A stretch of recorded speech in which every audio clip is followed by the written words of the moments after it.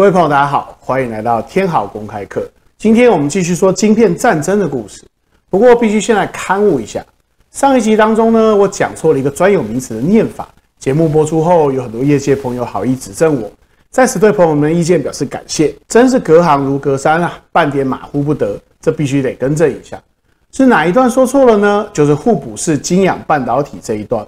这是一种机体电路的设计制成技术，英文是 Complementary metal oxide semiconductor. 简称 CMOS。这个 CMOS 在业界念作 CMOS，我望文生义，把 complementary 拿进来，念成了 COMOS，真是贻笑大方啊！还好很多高手在看这个系列的影片，随即就获得了指正，非常感谢。后续故事当中，如果还有此类外行的错误，烦请各位行家辅正。好了，接下来回到我们的故事主线。上一回的最后，我们提到日本人正式参加了晶片战争啊。当然了，一开始日本人是以美国协力代工厂的形象出现的，相当的人畜无害啊。就算东通风推出了畅销的 TR 五五晶体管收音机，开启了日本企业使用电晶体赚大钱的新时代。当时的美国对日本的成果还是没有太在意啊。跟后来那种剑拔弩张的情况完全不同，为什么呢？可能的原因有二：一来，美国人知道电晶体是一项过渡性的技术，就算日本人把这玩意儿研究的再深入，发展前景也有个上限，不需要太警戒啊；二来，日本人买的都是美国大公司的技术授权的，你卖的再多，美国也可以共享利润啊。不急，优势在我。当然了，还有一个不能说出口的默契。冷战时期，日本在面对共产政权的第一线。美国需要日本，日本更需要美国。这里有着比赚钱更底层的国家生存需求。再怎么样，日本也翻不出山姆大叔的五指山呐。让日本的廉价劳力九九六加班生产，做些便宜好用的电器产品卖给美国消费者，也没有什么损失啊。就在这种心态之下，日本的崛起之路很顺畅。一九六零年，仙童半导体公司搞出机体电路，日本电器 NEC 随即就跑来购买专利授权。到手之后，随即就开始批量生产机体电路板。哎，等等等，为什么这么快？当时多数的美国电子业都还在电晶体阶段，怎么日本人对这种新技术上手的这么快？这就得介绍一下 NEC 了。NEC 的成立可以追溯到一八九八年八月三十一日。如果你对这个时间点没概念的话，我帮你建立一个时空对照坐标吧。此时海对面的大清朝正在进行戊戌变法。哎，是的。这就是那个百日维新的时间点。当中国还在思考未来政治体制的走向时，NEC 的创始者岩垂邦彦和前田武四郎买下了一家叫做三好电器株式会社的公司。当时这家公司与美国的西部电器合作，而西部电器是 AT&T 的子公司啊。是的，这是十九世纪末就开始的美日合作。NEC 其实一开始就是一家美日合资企业。一开始，NEC 是生产电话的。在日俄战争爆发的时候，NEC 已经把电话卖到大清国跟朝鲜市场。接下来几十年，NEC 逐渐拓展产品线，生产电风扇、厨房电器、洗衣机和……呃，你可能不会相信吸尘器。是的，在中华民国成立初期，日本人跟美国人就已经在用吸尘器了。NEC 发展的拐点是一九二三年的关东大地震，这场毁灭性的灾害重创了日本东部。东京有十三间电信局在大火中毁灭，电话和电报因为电话线受损而中断。通讯中断对一个现代国家来说是致命的。日本政府在灾害之后迅速反思应对策略，然后日本就开始发展自动电话交换系统和无线电广播。当然了，首先还是引进外国技术。第一套自动转接系统来自英国自动电话制造公司，当然代理商就是 NEC。引进新技术之后，只用了一年，他们就搞出了自制的自动交换系统。日本人学习新技术总是这么的有效率。也就在这一年，NEC 开启了无线电通讯业务。NEC 从西部电信那边引进了广播装置，日本第一家无线电广播公司东京放送局诞生。隔年，名古屋放送局、大阪放送局陆续成立。呃，顺带一提。战后的一九四六年，刚刚提到这几家放送局合并，组成今天我们熟知的 NHK。现在你知道为什么是由 NEC 出面购买专利了吧？背后都是日本政府啊！现在回头看会发现，这其实都是日本政府主导的战后产业复兴计划的一部分。在 NEC 取得机体电路技术之后，很快就分享给了日立、富士通、三菱和东芝，然后日本就组成了一个半导体产业集团。再然后日本就长成了美国人最可怕的对手，因为集中力量办大事还是很有用的。当时美国戏股虽然在半导体领域依然领先全球，但是美国企业都是各自为战，彼此还各种竞争。日本则不然，日本企业在政府的号召下整合各种资源，企业之间不但不竞争，还互相协助攻关，以赶超美国为目标啊！是的。日本发展半导体产业采取的方式，正是我们今天熟知的举国体制啊。因为不如此，不足以追上先进的美国大公司。哪一家大公司呢？Big Blue 国际商业机器公司，统称 IBM。一九六零年代开始，日本想跟美国竞争的，可不是小打小闹的收音机市场啊，而是未来潜力无限的计算机产业。那就让我们来说说 IBM 吧。不过这个扯起来很复杂，千头万绪的。我们抓住一个好理解的切面来解释好了。不知道你还记不记得，诺维斯跟摩尔创立英特尔初期第一个主打产品——半导体记忆体，我们就从这个产品来理解吧。来介绍一下这个玩意儿。今天任何电脑、手机当中都有这个玩意儿，因为体积很小，属于日用而不知的好东西。不过一开始电脑要储存资料可没这么方便，早期的计算器要存储资料得用打孔卡片，这玩意儿感觉挺繁琐的，有点结绳记事的味道。不过可别小看这种技术啊。当时这已经是最先进的计算与储存技术了，而 IBM 正是销售打孔卡片机起家的。然后，奥地利人古斯塔夫·陶斯克发明了磁骨记忆体，这依然是以穿孔卡片载入取出资料的形式，不过用上了磁媒介，速度快多啦。这是磁芯记忆体诞生之前的主流技术。后来，IBM 买下了这项技术的专利，开始生产。老实说，这玩意虽然比打孔卡片机快一些，但是非常笨重，而且更加昂贵。存储容量也只有几 K，实在不是什么可以依赖的技术。不过在二战结束之前也只有这种技术啦，所以二战期间 IBM 还得替美军代工，生产点机枪、卡宾枪什么的贴补家用。但是老是生产机枪跟卡宾枪也不是事啊，这玩意又不能技术升级。所以韩战爆发之后，IBM 就开始到国防部各单位去打听，有没有除了机关枪以外的需求啊。然后 IBM 发现，随着武器性能的提升，军队组织模式日趋复杂化。对资料运算与存储的需求激增，军队需要一种能稳定存储与计算的机器。然后，IBM 就开始走上生产大型电脑的道路啦。接着，国防计算器 IBM 七零一诞生，这是第一台可以存储资料的商用大型电脑。有句名言，我认为世界市场可能需要五台计算机。这句名言里的计算机就是指这一台啊。附带一提，这句名言应该是断章取义杜撰的。因为这句名言里面的“我”通常是指汤姆斯·沃特森，在 IBM 做出这台机器时，沃特森正在担任董事长与 CEO。不过，深入了解他当时说话的时空背景，会发现啊，这其实不是他的原意啊。但是那已经不重要了。接下来，商用电脑的需求猛增，让 IBM 开始在这个领域投入巨资。有多巨呢？一九六四年四月七日，IBM 推出 System 三六零这款电脑，采用最新型的机体电路，每秒运算速度超过百万次大关啊！为了做出这台电脑，IBM 的投资超过了二战期间美国研制原子弹的费用总和啊！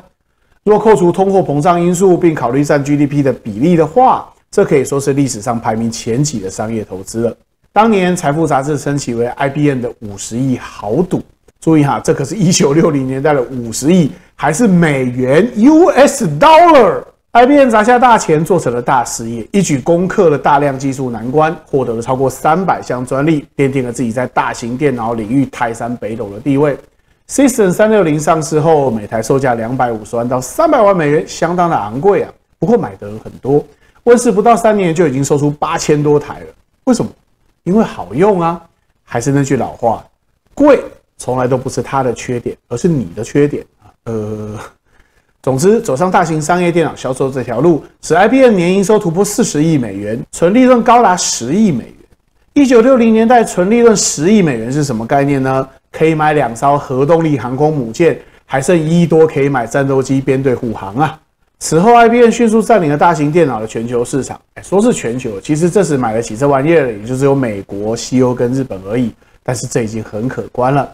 一九六七年，IBM 市值高达一千九百二十三亿美元，相当于同期美国 GDP 的百分之二十五啊！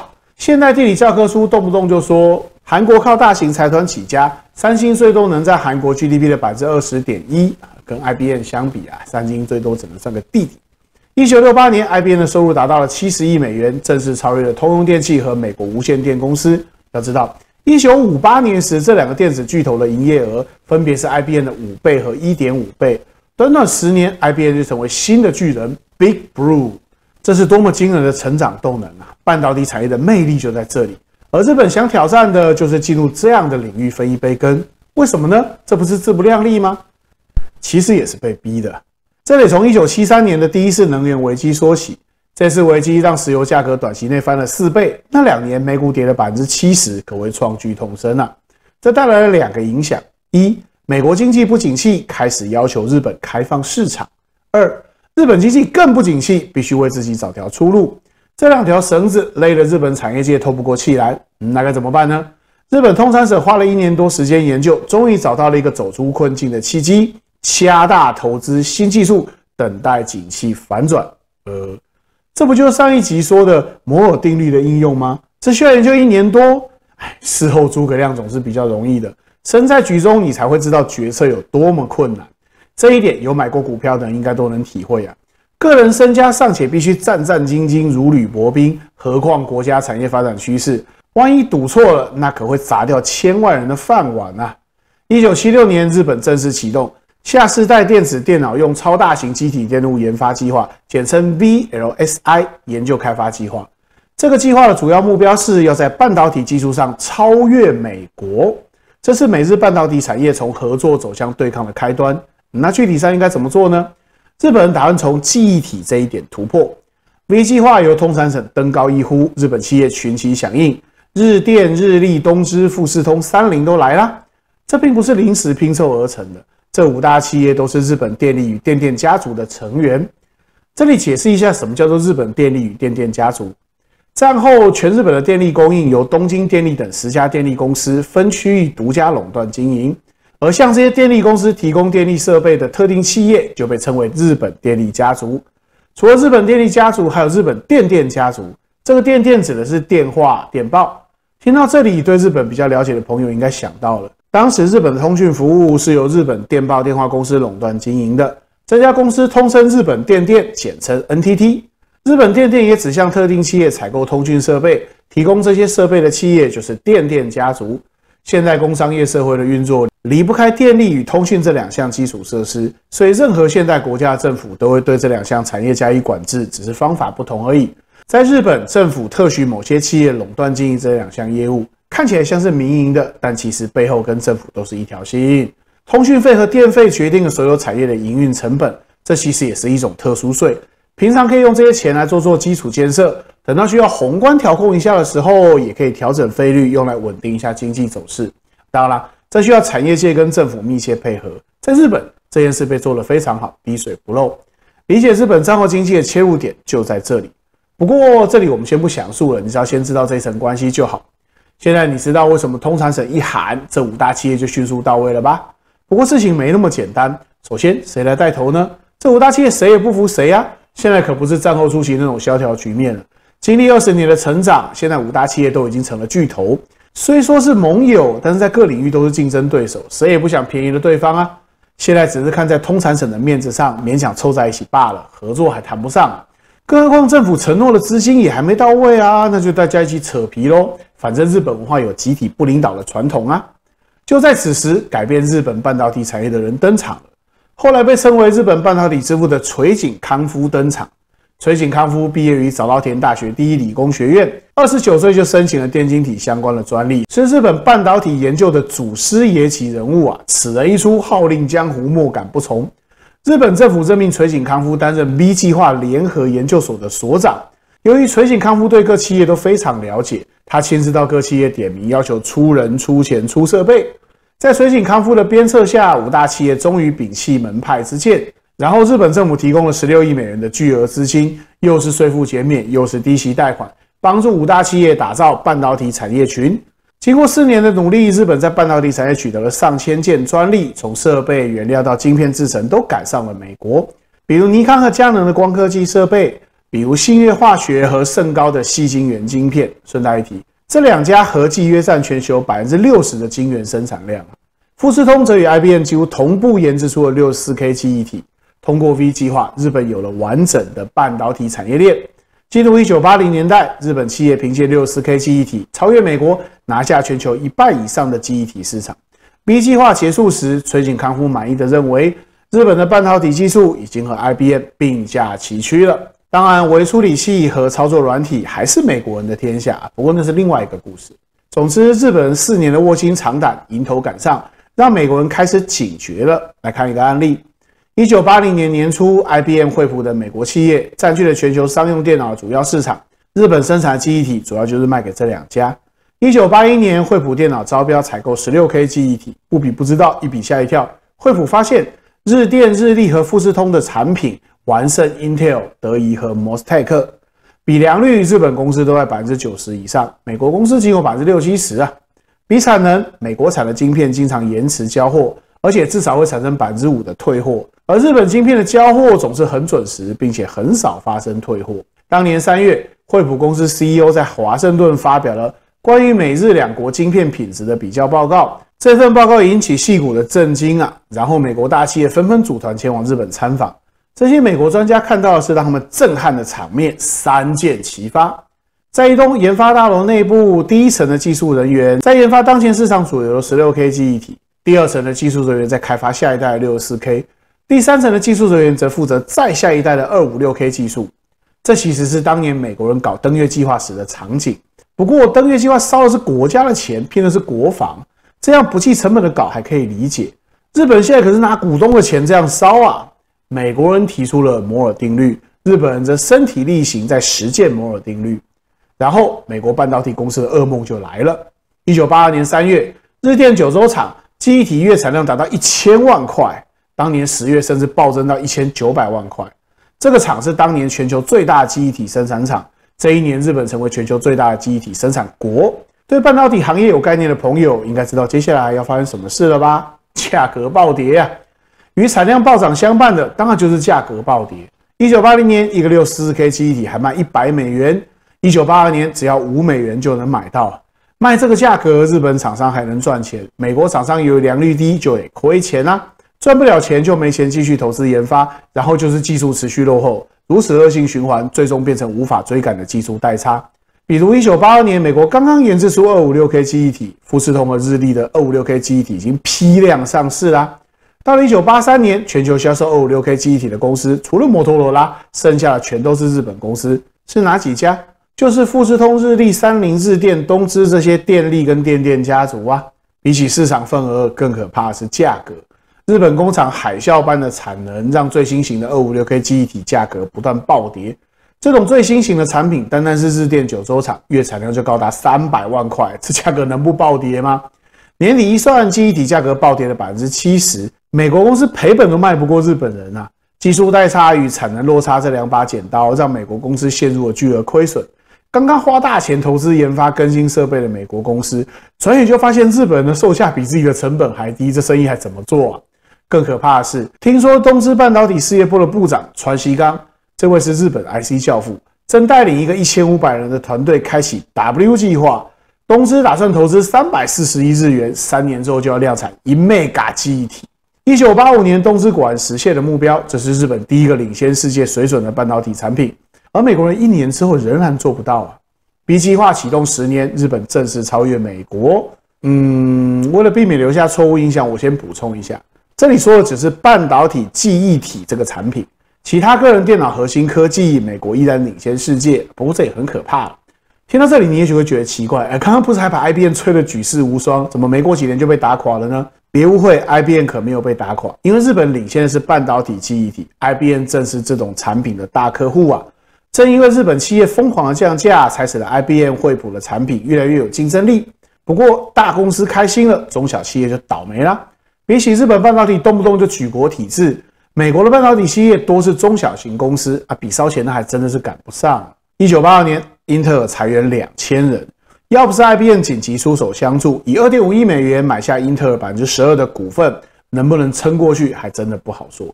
前几集一直表现得很神奇的诺伊斯，现在悲观的说，戏股将成为废墟。